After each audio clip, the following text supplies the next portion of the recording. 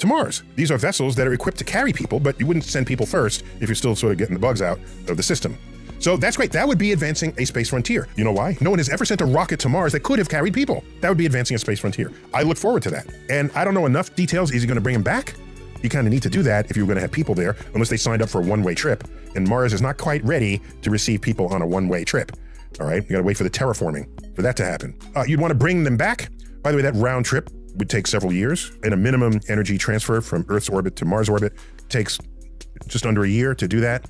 Then, if you want a minimum energy return, you got to wait until Earth and Mars are properly configured once again in our respective orbits, and then you can take advantage of that configuration and then come back. So a full round trip is several years. So I look forward to this and see how that unfolds. Those are definitely the first steps. By the way, the current American program to return to the moon, called Artemis, has three planned missions. The first was an uncrewed mission to the moon. It went to the moon, came back, splashed down in the, in